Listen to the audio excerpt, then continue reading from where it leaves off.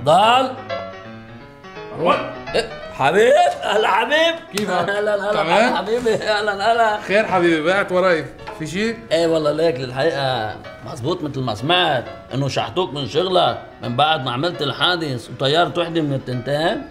خيي في مجال ما نحكي بهالموضوع؟ هلا مزبوط ولا مش مزبوط؟ يا خيي عم بقول لك بليز ما نحكي بهالموضوع. إنه يا مزبوط الله يا الله ما نحكي. ليك والله أنا الحقيقة بعت وراك لاني بدي بيض وجهي معك لا لا لا لا حبيب ما تبلش أنا ما قلت لك يعني بيض قصدي انه في شيء من البيض وكذا والخبريات الله يخليك طيب طيب طيب طيب طيب قل لي قل لي شو في؟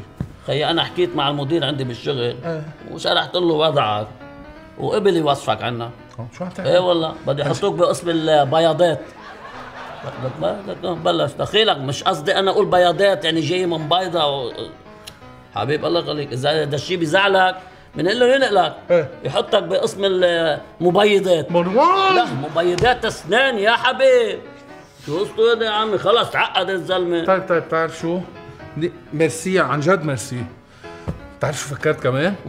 بصير نروح سوا بالسيارة. ما بتزبط. خي منوفر بنزين. بتزبطش لا. خي شو ما بتزبط؟ يا خيي ما نحن أنا دوامي غير دوامك.